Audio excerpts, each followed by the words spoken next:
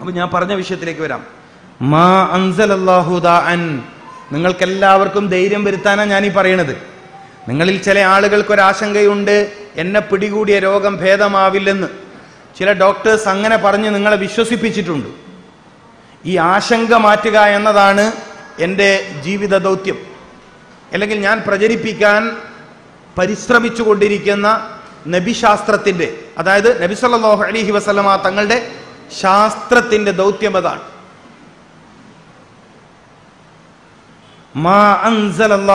അള്ളാഹു ഒരു രോഗത്തെയും മനുഷ്യനുമേൽ ഇറക്കിയിട്ടില്ല. ഇത് രോഗികൾ മനഃപ്പാടമാക്കേണ്ട ഹദീസാണ്. രോഗം കൊണ്ട് പ്രയാസത്തിലായ ആളുകൾ മനഃപ്പാടമാക്കേണ്ട ഹദീസാണ്. മാ ദാഅൻ അല്ലാഹു ഒരു രോഗത്തെയും മനുഷ്യനുമേൽ ഇറക്കിയിട്ടില്ല. ഇല്ലാ അൻസല ലഹു ഷിഫാ ലാ ഇലാഹ ഒരു ഇലാഹു ഇല്ല ഇല്ലല്ലാഹ്. അല്ല അല്ലാതെ കടുപ്പുള്ള വാക്കാണ്. അല്ല മാത്രമേ ആരാധനക്ക് അർഹനുള്ളൂ എന്ന് പറയുന്നതിനേക്കാൾ കടുപ്പുണ്ട് ലാ ഇലാഹ ഇല്ലല്ലാ എന്ന് പറയുന്നതിന്. മാ അൻസലല്ലാഹു ദാഅൻ ഇറക്കിയിട്ടേ ഇല്ല. ഒരു രോഗവും അള്ളാഹു ഭൂമിയിലേക്ക് ഇറക്കിയിട്ടില്ല. ഇല്ല അൻസല ലഹു ഷിഫാ ഔ കമാ ഖാൽ മുഹമ്മദ് റസൂലുള്ളാഹി. നിങ്ങൾ ചിന്തിക്ക് ഒരു ഒരു ഒരു രണ്ട് മിനിറ്റെങ്കിലും എന്റെ സഹോദരന്മാരും സഹോദരിമാരും ചിന്തിക്ക്. എന്നിട്ട് എന്തേ എന്റെ സൂക്കേട് മാറാത്ത നിങ്ങൾ അങ്ങനെ ചിന്തിക്ക്. നിങ്ങൾ അങ്ങനെ ചിന്തിക്ക്. അപ്പോഴേ എന്റെ വാക്കുകൾ അടുത്ത വാക്കുകൾക്ക് പ്രസക്തിയുള്ളൂ. നിങ്ങൾ അങ്ങനെ ചിന്തിക്ക്. എന്നിട്ട് എന്തേ എന്റെ രോഗം ശിഫയാവാത്തത്? അല്ലേ? ചോദിക്കണ്ടേ? നബി സല്ലാ അലൈഹി സ്വലമ തങ്ങളോടാണ് ചോദ്യം. എന്നിട്ടെന്താണ് എന്റെ രോഗം ശിഫയാവാത്തത്? എല്ലാ രോഗത്തിനും അള്ളാഹു ശിഫ ഇറക്കിയിട്ടുണ്ടെങ്കിൽ എന്റെ രോഗം മാറുന്നില്ലല്ലോ. മറുപടി. അതിന്റെ മറുപടി രോഗമുണ്ടാകുന്ന വഴിയിൽ നിന്ന് ഇപ്പോഴും മാറി നിന്നിട്ടില്ല. ഒന്ന് രോഗം ഉണ്ടാവുന്ന വഴിയിൽ നിന്ന് ഇപ്പോഴും നിങ്ങൾ മാറി നിന്നിട്ടില്ല. ഉത്തരം ഒന്ന് മനസ്സിലായിട്ടില്ല? നിങ്ങൾ മനസ്സിലായിട്ടില്ല? രോഗം ഉണ്ടാവുന്ന വഴിയിൽ നിന്ന് ഇപ്പോഴും മാറി നിന്നിട്ടില്ല. ഉത്തരം മനസ്സിലായിട്ടില്ല? ഇല്ലെങ്കിൽ പറയും. രോഗം ഉണ്ടാവുന്ന വഴി രോഗം ഇല്ലാണ്ടാവുന്ന വഴി. രോഗം വളരുന്ന വഴി രോഗം ശക്തിപ്പെടുന്ന വഴി. മനസ്സിലാവുന്നുണ്ടോ? മനസ്സിലാവാത്ത ആൾ പറയണേ. എന്റെ രോഗം എന്താണ് ശിഫയാവാത്തത് എന്നാ ചോദ്യം. എന്റെ രോഗം എന്തുകൊണ്ടാണ് ശിഫയാവാത്തത് എന്നതാ ചോദ്യം. ഞാൻ പറഞ്ഞ ഹദീസ് എന്താണ്? മാ അൻസലല്ലാഹു അൻസല ലഹു എല്ലാ രോഗവും ശിഫയാവും. എത്രയോ ആളുകളുടെ എത്രയോ രോഗങ്ങൾ ശിഫയായിട്ടുണ്ട്. അപ്പൊ എനിക്ക് രോഗം ഉണ്ടായിട്ട് എത്ര കൊല്ലമായി പത്ത് കൊല്ലമായി. അല്ല എത്രയും പതിനഞ്ച് കൊല്ലമായി. അന്താ ഡോക്ടറെ കാണിക്കുന്നില്ലേ? കാണിക്കണ്ട്. എന്നാ പിന്നെ മരുന്ന് കുടിക്കണ്ടാവില്ല അല്ലേ കൃത്യമായി കുടിക്കണ്ട്. അപ്പൊ പിന്നെന്താ സൂക്കേട് മാറാത്തത്? സൂക്കേട് ഉണ്ടാവുന്ന രോഗമുണ്ടാകുന്ന വഴിയിൽ നിന്ന് വിട്ടു നിന്നിട്ടില്ല. അന്ത രോഗം ഇല്ലാണ്ടാക്കുന്ന വഴിയുണ്ടോ? രോഗം വരുന്ന വഴിയുണ്ടോ? അങ്ങനെ ഒരു വഴിയുണ്ട്. പള്ളിയിലേക്ക് വരുന്ന വഴിയുണ്ടോ? വഴിയുണ്ട്. ആ ഇതിലേക്ക് കയറിയാൽ പള്ളിയിലേക്ക് എത്തും. മനസ്സിലായില്ലേ? പിന്നെ മംഗലാപുരത്തേക്കുള്ള ബസ്സിന് കയറിയിട്ട് കണ്ണൂരിന്നേ ഞാൻ മംഗലാപുരത്തേക്കുള്ള ബസ്സിന് കണ്ണൂരിൽ കയറിയിട്ട് കോഴിക്കോടേക്ക് ടിക്കറ്റ് എടുക്കാൻ പറ്റുമോ പറ്റുമോ എനിക്ക് പറ്റൂല. നിങ്ങൾക്ക് പറ്റുമോ എന്നറിയില്ല ഉണ്ട്? അങ്ങനെ ഉണ്ടാ സൂക്കേട് മാറാനുള്ള സൂക്കേട് മാറാനുള്ള ബസ് കയറിയിട്ട് സൂക്കേട് ഉണ്ടാക്കുന്ന ടിക്കറ്റ് എടുക്കുന്ന പരിപാടിയാണ് ഇപ്പൊ നിങ്ങൾ ചെയ്യുന്നത്. അത് പറയാനാ ഞാനിത് പറഞ്ഞത്. മനസ്സിലായില്ലേ? ആ കരയുന്ന കുഞ്ഞുങ്ങളുള്ള ഉമ്മമാർക്ക് അല്ലെ പുറത്തേക്ക് കുട്ടീനെ എടുത്ത് നടന്നുകൂടെ? അല്ലേ അതിന് പ്രശ്നമുണ്ടാ? അതിന് പ്രശ്നമില്ല. കരയുന്ന കുട്ടികളുള്ള ഉമ്മമാർക്ക് കുഞ്ഞുങ്ങളെ എടുത്ത് പുറത്ത് പോകാവുന്നതാണ് സദസ്സിനോടുള്ള ബഹുമാനക്കേടാവില്ല അത് എന്ന് പ്രത്യേകം ഉണർത്തുന്നു. പിന്നെ ആ കുഞ്ഞു കുഞ്ഞിന്റെ ഉമ്മാനെ കാണാത്ത കാര്യമൊന്നും പറയാൻ പറ്റൂല. അങ്ങനെയാണ് പിന്നെ ഞാൻ പറഞ്ഞ വെറുതെ ആവും. അല്ലേ? ഒന്ന് ഒന്ന് പറഞ്ഞാലേ ആ കുട്ടീനെ എടുത്തിട്ട് പുറത്തു പോയാലേ? ഞാൻ സാധാരണ പറയല്ലേ കുട്ടികളെ എടുത്തിട്ട് വോട്ട് ചെയ്യാനേ പോകാൻ പാടുള്ളൂ എലക്ഷന് എലക്ഷന് വോട്ട് ചെയ്യുമ്പോൾ കുട്ടികളെ എടുത്ത് പോയാൽ വേഗം ക്യൂ നിൽക്കാണ്ട് എന്താക്കാ വോട്ട് ചെയ്തിട്ട് വരാം. ഈ ക്ലാസ്സിന് വരുമ്പോൾ കുട്ടികളെടുത്ത് വന്നാൽ കുട്ടികൾക്ക് ക്ലാസ്സും രോഗവും സൂക്കേടും മരുന്നും ഡോക്ടറൊന്നും അവർക്കറിയില്ല. ഓർക്ക് കരയാൻ തോന്നിയാൽ കരയും ചിരിക്കാൻ തോന്നിയാൽ ചിരിക്കും. അപ്പം അതൊന്ന് ശ്രദ്ധിക്കുന്ന നല്ലതാണ്. ഷാല്ല ആ കുട്ടിന്റെ ഉമ്മ ഇല്ലാന്ന് തോന്നുന്നല്ലേ അവിടെ? ഏ? അല്ല എടുത്തിട്ട് അവർ പോകുന്നതാണ് നല്ലത്. കാരണം വെച്ചാൽ കുഞ്ഞുങ്ങൾ അങ്ങനെ കരച്ചിൽ നിർത്താൻ പറ്റൂല. കുട്ടികളിൽ വാശിയും തർക്ക സ്വഭാവവും വരുന്നത് ദീർഘമായി കരയാൻ വിടുന്നോണ്ടാണ് മനസ്സിലാകുന്നുണ്ടോ കുട്ടികൾക്ക് പലപ്പോഴും തർക്ക സ്വഭാവം സമര മനസ് ഫൈറ്റിംഗ് മെന്റാലിറ്റി ക്ലേഷിംഗ് മെന്റാലിറ്റി തർക്ക സ്വഭാവം ഇത് വളരുന്നതിന്റെ പ്രധാന കാരണം അവരെ ദീർഘമായി കരയാൻ വിടുന്നോണ്ടാണ് കരച്ചൽ ചെറിയ പ്രശ്നമൊന്നുമല്ല. കുറച്ച് കരയണം. ദീർഘമായി കരയാൻ വിട്ടാൽ അവരിൽ ഒരുതരം വാശി ജനിക്കും. പിന്നെ കോളേജിലും സ്കൂളിലൊന്നും പോകേണ്ട തന്നെ അവൻ വലിയ വാശിക്കാരനാവും. ചില ഉമ്മമാർ പറയുന്നില്ലേ ഭയങ്കര വാശിയാണ് എന്റെ കുട്ടിക്ക്. എത്ര കുട്ടിന്റെ വയസ്സ്? മൂന്ന് വയസ്സ്. എത്ര വയസ്സ്? നാല് വയസ്സ്. വളരെ സൂക്ഷിക്കേണ്ട കാര്യമാണ്. കുഞ്ഞുങ്ങൾ ദീർഘമായി കരയാൻ അനുവദിക്കരുത്. കുറച്ച് കരയണം. അത് നല്ലതാണ്. അതേസമയം ദീർഘമായി കരയുന്ന കുട്ടികൾ തീർച്ചയായും ആ കുടുംബത്തിനും ആ ഉമ്മാക്കും ആ ഉപ്പാക്കും വലിയ ഭാരമായി തീരും ആ കുട്ടി കരഞ്ഞോണ്ട് വലിയൊരു ഇൽമ കിട്ടി അല്ലേ? അല്ലേ? അള്ളാഹു കുട്ടിക്ക് ദീർഘായുസ് മാഫിയത്തും കൊടുക്കട്ടെ. നല്ല ഇൽമും കൊടുക്കട്ടെ. കാരണം ചില കാര്യങ്ങളാണ് ചില ഇൽമ കിട്ടാൻ കാരണമാവുക. ഇനി വേറെ പെണ്ണുങ്ങന്മാർ കുഞ്ഞുങ്ങളെ കരയിക്കണ്ട. ദുവാ കിട്ടുമെന്ന് വിചാരിച്ചിട്ട്. ഏത്? മനസ്സിലായില്ലേ? ഇടയ്ക്ക് അങ്ങനെ ഒരു ദുവാ കിട്ടുന്ന എന്നാ പിന്നെ എന്റെ കുട്ടിയും കരയട്ടെ. അങ്ങനെ ദയവേത് വിചാരിച്ചേക്കരുത്. ആ കരയുന്ന കുഞ്ഞിക്ക് മുട്ടായി കൊടുത്തിട്ട് തൽക്കാലം നിർത്തുക. ഓക്കെ അപ്പം ഞാൻ പറഞ്ഞു വന്നത് ഞാൻ പറഞ്ഞു വന്ന വിഷയം ഇതാണ്. എന്റെ പ്രിയപ്പെട്ട മുഗ്നിങ്ങളെ രോഗം ഉണ്ടാകുന്ന വഴിയിൽ നിന്ന് മാറി നിൽക്കാത്തത് കൊണ്ടാണ് നമുക്ക് രോഗം ഷിഫയാവാത്തത് ഈ പോയിന്റ് നിങ്ങളൊന്ന് നോട്ട് ചെയ്യാം. ഈ പോയിന്റ് നോട്ട് ചെയ്യുന്നതിന് മുമ്പ് നിങ്ങൾ ആദ്യം നിങ്ങൾക്ക് ഓർമ്മയിൽ എപ്പോഴും നിൽക്കേണ്ട ഒരു കാര്യമുണ്ട്. എല്ലാ രോഗവും ശിഫയാവും. ഇത് ആരെ വാക്കാണ്? സയ്യിദുന മുഹമ്മദ് റസൂലുള്ളാഹി സല്ലല്ലാഹു അലഹി വസല്ലമ തങ്ങളുടെ വാക്കാണ്. ചരിത്രത്തിൽ രേഖയാണ് മദീനയിൽ രോഗികളില്ല. ചരിത്രത്തിൽ രേഖയാണ്. ഇത് ഒരു മസ്ജിദ് ഇമാമിന്റെ പ്രസംഗമൊന്നുമല്ല. ലോകത്തിന് ശാസ്ത്രം ശാസ്ത്രത്തിന്റെ മാതൃക നബി സല്ലാഹു അലഹി വസല്ലമ തങ്ങളുടെ ശിഷ്യന്മാരായ സ്വഹാബികളിൽ നിന്നാണ്. നിങ്ങൾ മനസ്സിലാക്കേണ്ടത് ഈ ശാസ്ത്രം സയൻസ് ഒന്ന് യൂറോപ്യന്മാരുടെ സംഭാവനയാണെന്ന മഹാമണ്ഡത്തരം വിശ്വസിക്കുന്നവരുണ്ട്. ഉണ്ട് അങ്ങനെ പറയുന്നവരുണ്ട്. അങ്ങനെ പറയുന്നവരുണ്ട്. യൂറോപ്യന്മാർക്ക് സയൻസ് ശാസ്ത്രം അന്വേഷണം എന്ന ഒരു സംവിധാനത്തിലേക്ക് പ്രചോദനമായത് ഹിജ്റ രണ്ടാം നൂറ്റാണ്ടിലെ സ്വഹാബി വര്യന്മാരുടെ ഹദീസ് പരമായ വിഷയത്തിലെ ചർച്ചകളാണ്. നമ്മൾ മനസ്സിലാക്കണം. നമ്മൾ മനസ്സിലാക്കണം. നമ്മൾ സയൻസ് സയൻസ് എന്ന് കേൾക്കുമ്പോഴേക്കും പടിഞ്ഞാറോട്ടാ നോക്കുക. അങ്ങനെയല്ലേ? സയൻസ് സയൻസ് എന്ന് പറഞ്ഞാൽ നമ്മളൊക്കെ ഒരു ധാരണ നമ്മുടെ ഒക്കെ ഒരു വിശ്വാസം. അത് യൂറോപ്പിന്റെത്. നമ്മളതോ നമ്മളത് മതം ഇസ്ലാം കബർ അടി കുത്ത് ഇത് മാത്രം ഇങ്ങനെ ഓത്ത് വെയ്ത്ത് ചൊല്ലല്. നമുക്ക് സയൻസ് ഉണ്ടോ? എന്ത് സയൻസ് അതങ്ങേ സയൻസ് തന്നെ. നബീ സല്ലല്ലാഹു അലിഹി വസല്ലമ തങ്ങൾ മനുഷ്യ ജീവിതത്തിന് വിജയകരമായ വഴി നൽകിയെടുത്ത് ഏറ്റവും ആരോഗ്യകരമായ സയൻസിനെ സമർപ്പിച്ചിട്ടുണ്ട്. സമർപ്പിച്ചിട്ടുണ്ട്. ഇമാം സക്കരിയ റാസി റഹ്മുല്ലാ തങ്ങൾ അങ്ങനെ ഉണ്ടായ സയന്റിസ്റ്റാണ് മനസ്സിലാക്കണം. ഇബിന് സീന റഹ്മുല്ലാ തങ്ങൾ ആ വഴിയിലുണ്ടായ ശാസ്ത്രജ്ഞനാണ്.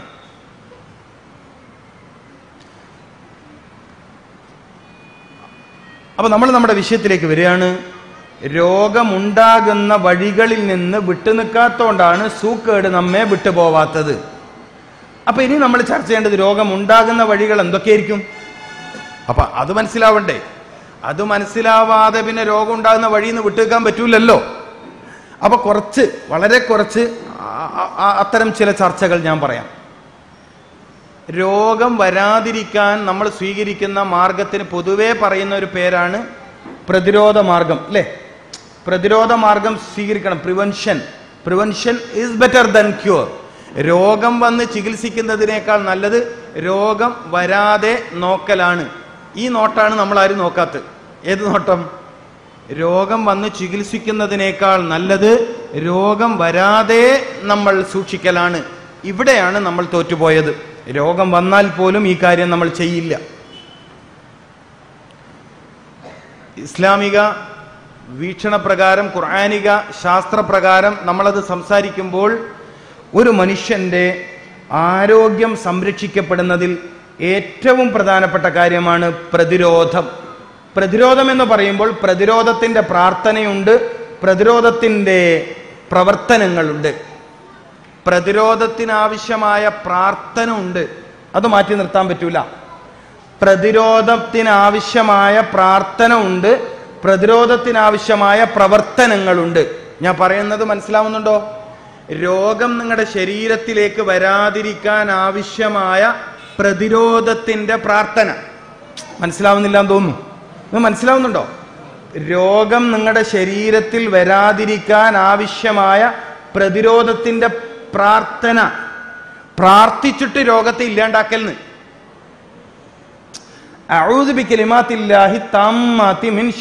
ഖലഖ്. ഇതെന്താ പരിപാടി? ഇതെന്താ പരിപാടി?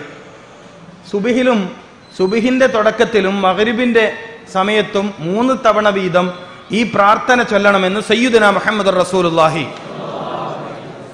എന്തിനു വേണ്ടിയാണ് പറഞ്ഞത്? നമ്മളെ ചോദ്യം അതാണ്. ഇങ്ങനെ ഒരു പ്രാർത്ഥന ചൊല്ലണമെന്ന് എന്തിനാണ് പറഞ്ഞത്? ഇപ്പൊ എടുക്കുക ഇപ്പൊ രാത്രിയാണല്ലോ ഇപ്പൊ രാത്രിയാണല്ലോ. നമുക്ക് മഗ്രിബ് എടുക്കാം. മഗ്രിബിന്റെ സമയത്ത് ഔദ്ബിക്കലിമാത്തില്ലാഹി താമാത്തി എന്തിനാണ് ചൊല്ലാൻ പറഞ്ഞത്? അതിന്റെ ഒരു ഉത്തരമാണ് അള്ളാഹു മഹ്ഫദനാഫി ഒരു ഉത്തരം. അള്ളാഹു മഹ്ഫദനാഫി രാത്രിയുടെ ഇരുട്ടിൽ എന്താ പ്രശ്നം വരാനുള്ളത്? നിങ്ങൾ ചിന്തിക്കുന്നുണ്ടോ? നിങ്ങൾ ചിന്തിക്കുന്നില്ലേ? ഇവിടെ ശ്രദ്ധിച്ചിട്ട് ചിന്തിക്കുന്നില്ലേ? ലുലുമത്തില്ലയിൽ രാത്രിയുടെ ഇരുട്ടിൽ എന്ത് പ്രശ്നമാണ് മനുഷ്യന് വരാനുള്ളത്? പറയും.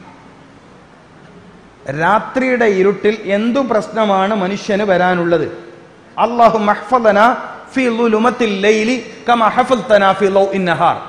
പകലിന്റെ വെളിച്ചത്തിലും എന്തോ പ്രശ്നം വരാനുണ്ട്. പകലിന്റെ വെളിച്ചത്തിലും എന്തോ പ്രശ്നമുണ്ടല്ലോ. പക്ഷെ നീ കാത്തിട്ടുണ്ട് കമ ഹഫൽ തനാഫിലോ ഇന്നഹാർ നീ കാത്തിട്ടുണ്ട്. നീ പകലിന്റെ വെളിച്ചത്തിൽ വരാൻ സാധ്യതയുള്ള രോഗത്തിൽ നിന്ന് എന്നെ കാത്തിട്ടുണ്ട്. പ്രയാസത്തിൽ നിന്ന് എന്നെ കാത്തിട്ടുണ്ട്. രാവിലെ എട്ടു മണിക്ക് മുമ്പ് കൊള്ളുന്ന വെയിൽ ശരീരത്തിന് ഗുണമാണെങ്കിൽ എട്ടു മണിക്ക് ശേഷം കൊള്ളുന്ന വെയിൽ അതിന്റെ കഠിന കാഠിന്യം കൂടുന്നതിനനുസരിച്ച് രോഗമുണ്ടാക്കും. നിങ്ങൾക്ക് മനസ്സിലാവുന്നില്ലേ? ഉണ്ടോ? ഉണ്ടോ? ഉച്ചയ്ക്ക് പന്ത്രണ്ട് മണിക്കേത്ത വെയിലും സൂര്യന്റെതാണ്. രാവിലെ ഏഴ് മണിക്കേത്ത വെയിലും സൂര്യന്റെതാണ്. ആണോ അല്ലേ? പക്ഷേ പന്ത്രണ്ട് മണിക്കത്തെ വെയിൽ അങ്ങനെ അങ്ങോട്ട് നിന്നിട്ട് കൊള്ളൽ രോഗമാണ്. എന്നാലോ? എന്നാലോ? ഒരു പകലിന്റെയും ഒരു രാത്രിയുടെയും ആരോഗ്യം ഓരോ ദിവസവും ഉണ്ടാക്കുന്നതിന്റെ ഭാഗമായിട്ട് രാവിലെ ഒരു ആറു മണിക്ക് ശേഷം സൂര്യൻ ഉദിച്ചുയർന്ന ഉടനെ ഒരു പത്ത് മിനിറ്റ് നേരം വെയിൽ കൊണ്ടില്ലെങ്കിലും നിങ്ങൾ രോഗിയാവും.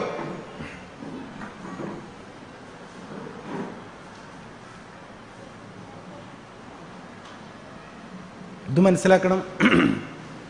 ഇത് നിങ്ങൾ മനസ്സിലാക്കണം. അള്ളാഹുലൈലി രാത്രിയുടെ ഇരുട്ടിൽ സംഭവിക്കാൻ സാധ്യതയുള്ള രോഗങ്ങൾ ഒരുപാടുണ്ട്. ഒരുപാടുണ്ട്. കാരണം മനുഷ്യൻ ഉറക്കിലാവും. മനുഷ്യൻ ഉറക്കിലാകും ചില പ്രത്യേക ജീവജാലങ്ങൾ സജീവമാവും. ഇരുട്ടിൽ മാത്രം സജീവമാകുന്ന ജീവജാലങ്ങളുണ്ട്. അത് കാണാൻ കഴിയില്ല. മൈക്രോസ്കോപ്പ് മൈനോറിറ്റിയിലാണ് അത് നിൽക്കുന്നത്. അത്രയും അതിസൂക്ഷ്മ നമ്മുടെ നേത്ര പടലങ്ങൾക്ക് നമ്മുടെ കണ്ണുകൾക്ക് കണ്ടെത്താൻ കഴിയാത്ത അത്രയും സൂക്ഷ്മ ജീവജാലങ്ങളുണ്ട്. ഉറക്കിൽ നമുക്കിതിനെ പകലാണ് ഒരു കൊതുക് വരുന്നതെങ്കിൽ ഒരു പ്രാണി വരുന്നെങ്കിൽ തട്ടിക്കളയാലോ? ഉറക്കിലാണെങ്കിലോ? ഉറക്കിലാണെങ്കിലോ? കഴിയില്ല. അപ്പൊ പ്രതിരോധം. പ്രതിരോധത്തിന് പ്രാർത്ഥനയുണ്ട്. പക്ഷെ നമ്മളത് നിർവഹിക്കാറില്ല എന്ന് ഞാൻ പറഞ്ഞ ഇനി നിങ്ങൾ എതിർക്കൂല. ആ ഇപ്പൊ നിങ്ങൾ പറഞ്ഞ കറക്റ്റാണ് ഞങ്ങൾ ഇതൊന്നും ചെയ്യാറൊന്നുമില്ല. ഞങ്ങളിങ്ങനെ വിറ്റാമിൻ ഗുളിക കഴിച്ചിട്ട് എങ്ങനെ അഡ്ജസ്റ്റ് ആക്കാതെ വിചാരിക്കുകയാണ് വിറ്റാമിൻ ഗുളിക കഴിക്കുന്നതുകൊണ്ട് ഓന്റെ കുടുംബക്കാർ രക്ഷപ്പെട്ട ആരെ? മരുന്ന് കമ്പനിക്കാരുടെ കുടുംബക്കാർ നല്ല ലാവിഷായി ജീവിക്കുന്നുണ്ട്. പ്രതിരോധത്തിന് പ്രാർത്ഥന വേണം. എന്തിനാണ് എന്റെ പ്രിയപ്പെട്ട മോമിനിങ്ങളെ ആദൻ നബി അലിഹി ഇസ്ലാമിനെ കൊണ്ട് അള്ളാഹു ആദ്യം തന്നെ അലഹമില്ല പറയിപ്പിച്ചത് എന്ന് നിങ്ങൾ ചിന്തിച്ചിട്ടുണ്ടോ? നിങ്ങൾ ചിന്തിക്കി. ആദൻ നബി അലിഹിസ്സലാം ആദ്യമായി പറഞ്ഞ വാക്ക് അൽഹമില്ല ആണോ അല്ലേ? അതിലും തർക്കമില്ല ആണ്. എന്തിന്? എന്തിനാണത് പറഞ്ഞത്? ആദൻ നബി അലിഹിസ്സലാമിന് അള്ളാഹു ശരീരം പടച്ചു ജീവൻ നൽകി. ഇനി ജീവിക്കണം. ജീവിതത്തിന്റെ തുടക്കത്തിൽ തന്നെ ചില സംവിധാനങ്ങളെ ഉണർത്തുന്നതിന്റെ ഭാഗമായി തുമ്മലുണ്ടായി. ശരീരത്തിൽ ചില സംവിധാനങ്ങൾ ഉണർത്തുന്നതിന്റെ ഭാഗമായി തുമ്മലുണ്ടായി. തുമ്മിക്കഴിഞ്ഞ ഉടനെ അബുൽ ബഷർ ആദം അലിഹിസ്ലാം അള്ളാഹു അൽഹംദുലില്ല പറയിപ്പിച്ചു.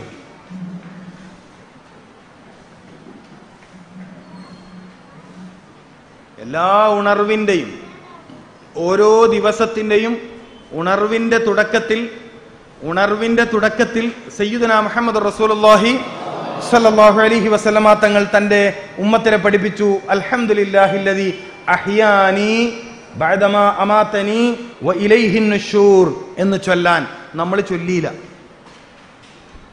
എന്നിട്ട് രാവിലെ ഒരു നടത്തം എന്നിട്ട് വല്ലതും കുറഞ്ഞോ? കുറഞ്ഞില്ല. നമുക്ക് കുറയില്ല. നമുക്ക് ചില രോഗങ്ങൾ നടത്തം കൊണ്ട് മാത്രം കുറയില്ല. തിബുൽ മാഷി നടത്തം ഏറ്റവും വലിയ ചികിത്സയായി നബിസ്വല്ലാ അലൈഹി തങ്ങൾ പഠിപ്പിച്ചിട്ടുണ്ട്. ഒരു സംശയം വേണ്ട. നടത്തം വലിയ ചികിത്സയാണ്.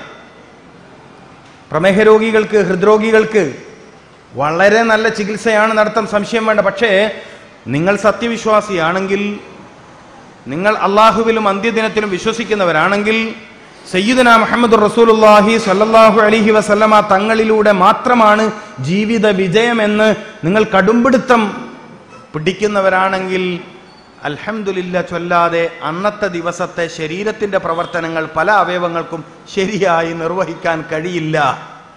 കഴിയില്ല. കഴിയില്ല പ്രിയപ്പെട്ട മോമിനികളെ. അന്നത്തെ ദിവസത്തെ ശരീരത്തിന്റെ ഇന്റേണൽ ഓർഗൻസ് ആയാലും എക്സ്റ്റേണൽ ആയാലും ആന്തരികവും ബാഹ്യവുമായ അവയവങ്ങൾക്ക് ശരിയായ രൂപത്തിൽ പ്രവർത്തിക്കാനും അതിന്റെ ധർമ്മങ്ങൾ നിർവഹിക്കാനും കഴിയുന്നതിന് സഹായകമായ പ്രാർത്ഥനയാണ് അൽഹമുല്ലാഹില്ലതി അഹിയാനി. ജീവന്റെ ശക്തിയാണ് ആരോഗ്യം. ജീവന്റെ ശക്തിയാണ് ആരോഗ്യം. ജീവന്റെ ശക്തി കുറയുമ്പോഴാണ് നിങ്ങൾ രോഗിയായത്. ജീവന്റെ ശക്തി നിലനിൽക്കാനുള്ള ഏറ്റവും വലിയ പ്രതിരോധത്തിന്റെ ദുആ അൽഹമുല്ലാഹില്ലതി അഹിയാനി എന്നതാണ്. ലോകത്തെ വിസ്മയിപ്പിച്ച വൈദ്യശാസ്ത്ര പണ്ഡിതൻ doctor Samuel Hahnemann vital force theory എന്നൊരു സിദ്ധാന്തം മെഡിക്കൽ രംഗത്ത് കൊണ്ടുവന്നിട്ടുണ്ട്. ജീവശക്തി. വൈറ്റൽ ഫോഴ്സ് ജീവന്റെ ശക്തിയാണ് ആരോഗ്യം എന്ന്. ഇതാണ് നിങ്ങൾ ആകെ മനസ്സിലാക്കേണ്ട ഒരു പോയിന്റ് നിങ്ങളുടെ ശരീരത്തിൽ നിക്ഷേപിതമായ ജീവന്റെ ശക്തിയാണ് നിങ്ങളുടെ ഹെൽത്ത് മനസ്സിലാവുന്നില്ല അല്ലേ? മനസ്സിലാവാണ്ടുണ്ടോ? നിങ്ങളിൽ അള്ളാഹു റൂഹ് നിക്ഷേപിച്ചു. റൂഹ്. ഈ റൂഹിൽ നിന്നും ഒരു ഗുണമുണ്ടായി ഹയാത്ത് ജീവൻ. ആ ജീവന്റെ ഗുണത്തിലാ നിങ്ങൾ ജീവിക്കുന്നത്. നിങ്ങൾ തീരെ പരിഗണിക്കാത്തതും ഈ ജീവനെയാണ്. ജീവൻ പോയാൽ ജലീൽ ദാരിമി ഇവിടെ പ്രസംഗിക്കില്ല. ജീവൻ പോയാൽ എന്റെ രൂപമുണ്ട് എന്റെ ഉണ്ട്. ഇല്ലേ? ജീവൻ പോയാലും എന്റെ ഫിഗർ ഇല്ലേ? പക്ഷേ എനിക്ക് ചലിക്കാൻ പറ്റൂല ഇളകാൻ പറ്റൂല ഒന്നും ചെയ്യാനൊക്കില്ല. നിങ്ങൾ ജീവിതത്തിൽ നിങ്ങൾ ഈ ആയുസ്സിന്റെ ഇത്രയും കാലത്തിനിടയിൽ തീരെ പരിഗണിക്കാതെ പോയത് ഈ ജീവനെയാണ്. ജീവശക്തി അതിനുവേണ്ടി ഒന്നും ചെയ്തില്ല. അൽഹംദുലില്ലാഹില്ലതി അഹിയാനി അഹിയാനി എന്നെ ജീവിപ്പിച്ചവൻ ജീവൻ കൊണ്ട് എന്നെ ശക്തിപ്പെടുത്തിയവൻ. ചില അവയവങ്ങളുടെ മരണമാ രോഗം. മനസ്സിലായിട്ടില്ല? ഇൻസുലിൻ ഉൽപ്പാദിപ്പിക്കുന്ന പാങ്ക്രിയാസ് എന്ന അവയവത്തിന്റെ ചില ഭാഗങ്ങൾ പതുക്കെ പതുക്കെ ഡെഡ് ആവുന്നത് കൊണ്ടാണ് ഇൻസുലിൻ പ്രൊഡക്ഷൻ അല്ലെങ്കിൽ സെൽഫ് ഇൻസുലിൻ പ്രൊഡക്ഷൻ ശരിയായി നടക്കാത്തത്. അല്ലാണ്ട് പാങ്ക്രിയാസ് എന്ന അവയവം അവിടെ തീരെ ഇല്ലാണ്ടാവുന്നില്ല. നിങ്ങൾ മനസ്സിലാക്കണേ? വിഷയം മനസ്സിലാക്കണം സഹോദരന്മാരെ. പാങ്ക്രിയാസ് എന്ന അവയവം തന്നെ അവിടെ നിന്ന് നശിക്കുന്നില്ല. അതിന്റെ സെല്ലുകൾ ഇതെന്താ മനസ്സിലാക്കിയാൽ അപ്പൊ പാങ്ക്രിയാസ് എന്ന അവയവത്തിന് പ്രവർത്തിക്കാനുള്ള ഗുണത്തിൽ ചിലതേ നഷ്ടപ്പെട്ടിട്ടുള്ളൂ. പൂർണമായും നഷ്ടപ്പെട്ടിട്ടില്ല. ഈ നഷ്ടപ്പെട്ടതിനെ തിരിച്ചു പിടിക്കാൻ കഴിയും. എന്തു വേണം? ജീവനെ ബലപ്പെടുത്തണം. ജീവനെ ശക്തിപ്പെടുത്തണം. ജീവനെ ബലപ്പെടുത്താനുള്ള ഹിക്കുമത്തുകൾ പഠിക്കണം. അള്ളാഹു തൗഫിക്ക് ചെയ്യട്ടെ. ഞാൻ ആവർത്തിച്ചു പറയാൻ ആഗ്രഹിക്കുന്ന ഒരു കാര്യമുണ്ട്. നിങ്ങൾക്ക് പരിചയമുള്ള ഏതെങ്കിലും ഭൗതികമായ വഴികളിലൂടെ ഇന്ന് നിങ്ങളെ പ്രയാസപ്പെടുത്തുന്ന രോഗങ്ങളിൽ നിന്ന് രക്ഷപ്പെടാമെന്ന് ദയവ് ചെയ്ത് തെറ്റിദ്ധരിക്കണ്ട. ആവർത്തിക്കാം ഞാൻ ആ വാക്ക്? നിങ്ങൾക്ക് പരിചയമുള്ള ആവർത്തിക്കാണ്. നിങ്ങൾക്ക് പരിചയമുള്ള ഏതെങ്കിലും ഭൗതികമായ വഴികളിലൂടെ നിങ്ങൾ അകപ്പെട്ടു പോയ ശാരീരിക പ്രശ്നത്തിൽ നിന്ന് നിങ്ങൾക്ക് രക്ഷപ്പെടാൻ കഴിയുമെന്ന് നിങ്ങൾ തെറ്റുധരിക്കണ്ട വ്യാമോഹമാണത്. മനസ്സിലായിട്ടില്ല? മനസ്സിലായിട്ടില്ല നിങ്ങൾക്ക്? മനസ്സിലായിട്ടില്ല. നിങ്ങൾ പറയുന്നത് വലിയ ഹോസ്പിറ്റലാണ് ഞാൻ ചികിത്സിക്കുന്നത്. സൂക്കേട് മാറുന്നില്ല. അപ്പൊ ഹോസ്പിറ്റലിന്റെ സ്ക്വയർ ഫീറ്റ് അല്ല രോഗം മാറ്റുന്നത്. നിങ്ങൾക്ക് മനസ്സിലായി